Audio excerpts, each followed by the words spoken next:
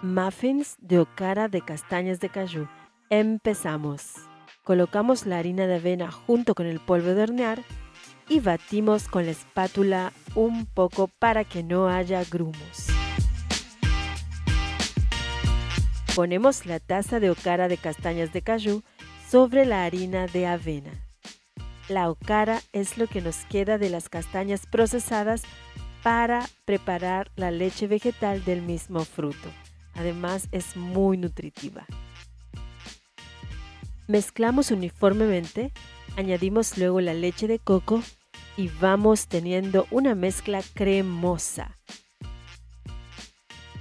Colocamos los dos huevos revisados previamente, que no hayan tenido nada de sangre, y así continuamos mezclando con nuestras especias favoritas.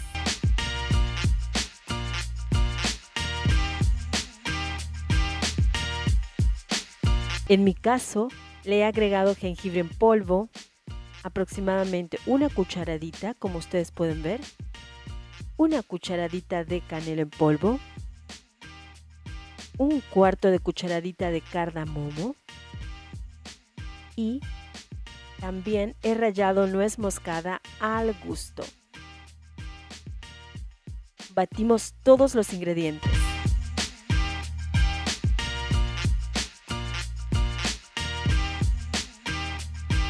A continuación, vamos a endulzar con stevia granulada, que es algo opcional. En mi caso le puse 3 cucharadas, pero tú la puedes endulzar con lo que tengas a mano en casa.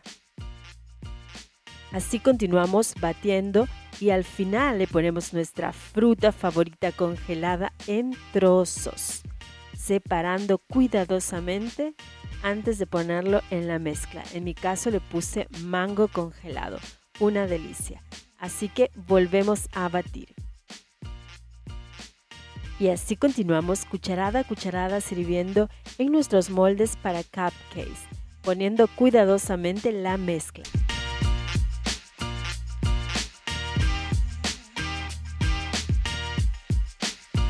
Con horno precalentado a 180 grados centígrados, los hornearemos durante 25 minutos o hasta que estén doraditos y crujientes por fuera y suaves por dentro. Y así quedaron listos, esponjositos y deliciosos. Y por si te das cuenta, yo ya me he comido tres muffins. y ahora vamos a vestirlos con su delicioso topping. Y para hacerles la demostración, he tomado uno y es muy fácil Solo con un yogur de coco o yogur natural, sin azúcar, los pueden empezar a decorar.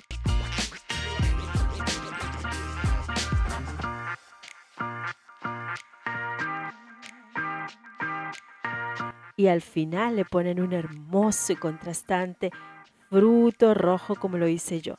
Este puede ser fresco o congelado, por supuesto, porque no puede faltar tampoco una castaña de cayú.